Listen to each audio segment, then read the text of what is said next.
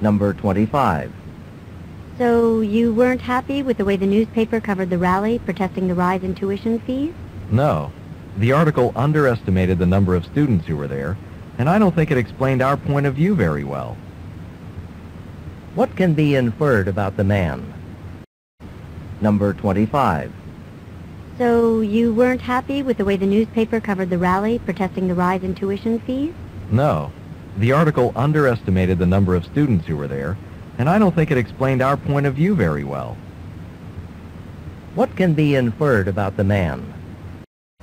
Number 25. So you weren't happy with the way the newspaper covered the rally protesting the rise in tuition fees? No.